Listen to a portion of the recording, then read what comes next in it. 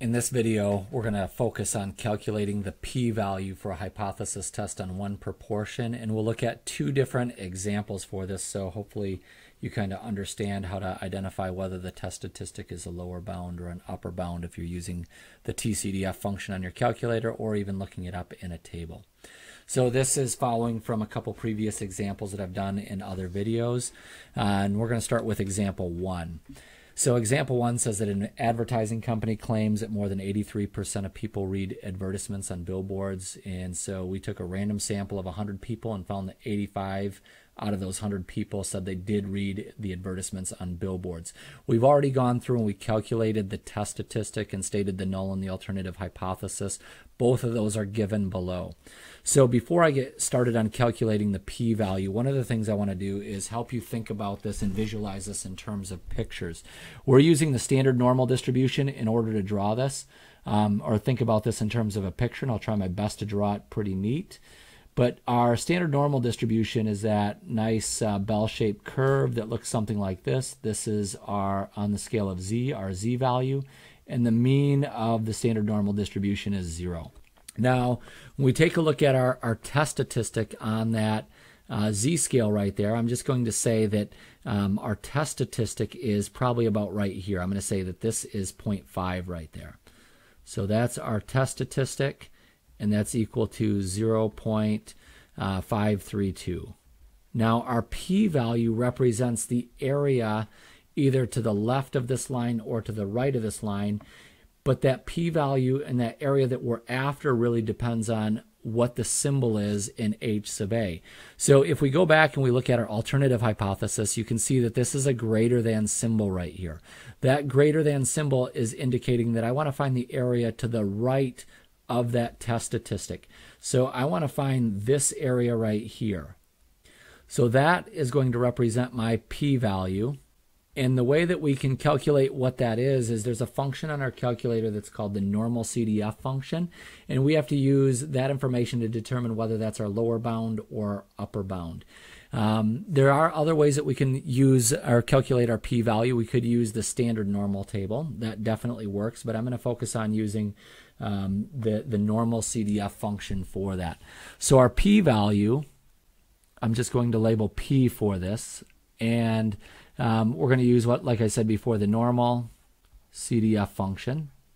And in that normal CDF function, there's a few inputs that we have to figure out. We have our lower bound, which I'm going to abbreviate LB.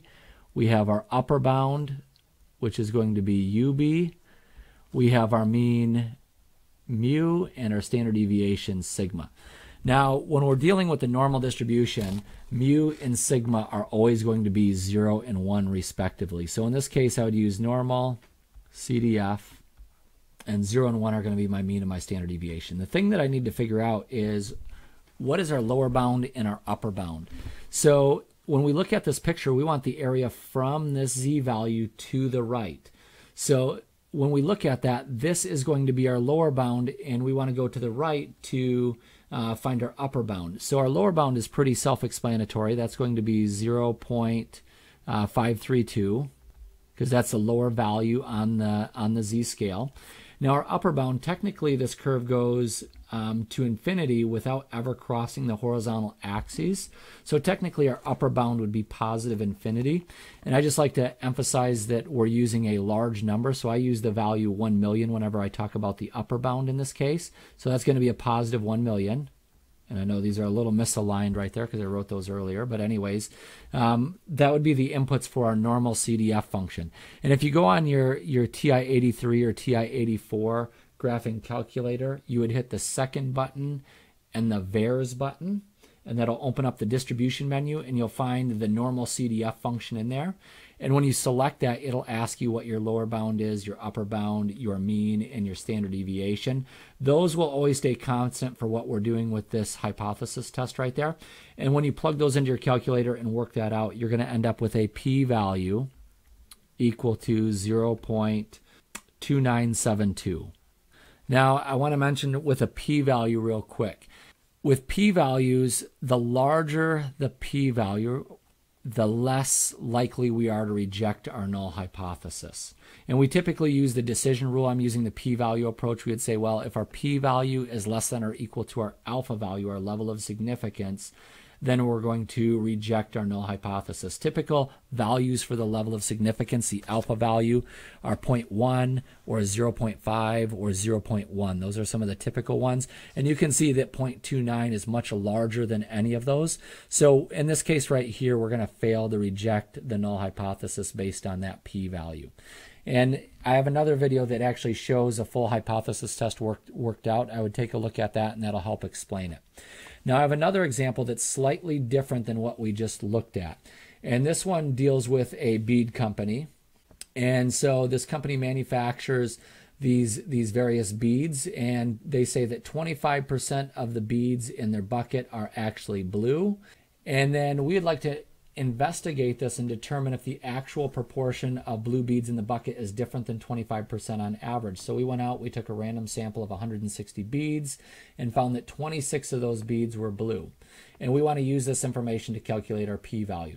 Now, I gave the hypothesis statements right here, and you can see the null hypothesis is p is equal to 0.25, and the alternative is p is not equal to 0.25 or p is different than 0.25. And the test statistic, I calculated this separately. You'll just have to trust me that that's the correct uh, test statistic. And now we have to calculate our p-value. So let's take a look at this graphically and kind of think about what this is telling us right there. All right, so we have our, our z or our standard normal distribution right here. I know it's not the best picture, but it'll work. So this is z. The mean of the z distribution is 0. The middle of that is going to be 0. And this time we have this test statistic of negative 2.556. This is quite a ways to the left of zero. So I'm just going to place that right here for our test statistic. This is our value of z, which equals negative 2.556. All right, that's supposed to be a negative in front of that. I'll try to sneak that in there. Right, because otherwise it looks like that's a continuation of it. Okay. So hopefully that, that makes sense right there. Now, in this case, we have this not equal to sign right there. So it's hard to tell which direction that we're going to be shading to the left of that line or to the right of that line. Now, in general, what I tell my students is we're going to shade to the closest tail. Now, in actuality, that not equal to sign right there really implies this. A not equal to sign implies that it's something different than 0.25. So that that value of 0.25 it could be smaller than 0.25 or it could be larger than 0.25 so that's kind of a, a, a, compact notation for saying that our population proportion is smaller than 0.25 or it's larger than 0.25 in this case our test statistic ends up on the left so we're really looking at that case where it's smaller than that value so we want this area right here that's going to be part of our p-value, and I'll explain a little bit more in just a little while. So to calculate our p-value, just like before, we're going to use that normal CDF function. Now with our normal CDF function, just recall that our mean is 0 and our standard deviation is 1. I'm writing those down at the end. We have to determine whether this is a lower bound or an upper bound. In this case, it happens to be the upper bound because we want the area to the left of this. So this would mean that our lower bound is on the left, and that makes this our upper bound right there. All right, so we're finding that area right there. So always think of the lower bound as the leftmost value and the upper bound is the rightmost value. So in this statement right here, we can see that our lower bound is going to be way to the left, our upper bound is going to be the right.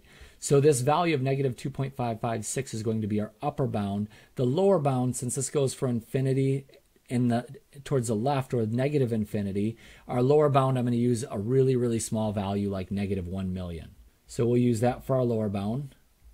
And then our upper bound is going to be negative 2.556 and our mean is going to be 0, our standard deviation is 1.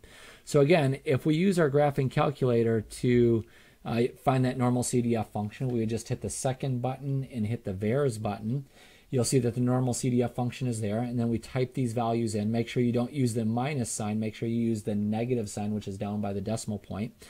And you plug those in. We'll come up with a value um, of approximately 0.005 0.53.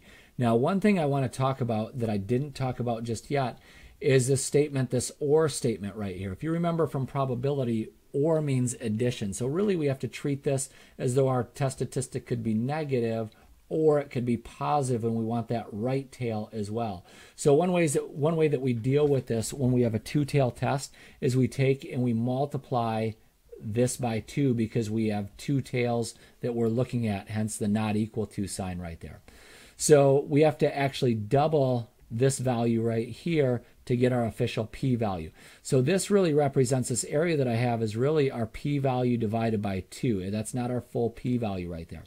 So when we double that, we end up with a value of 0.0106 is our official p-value.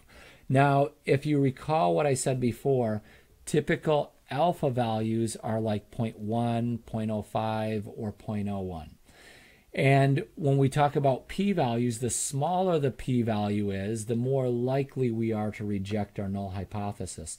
So in this case right here, I have a pretty small p value, so there's a pretty good chance I'm going to be re rejecting my null hypothesis.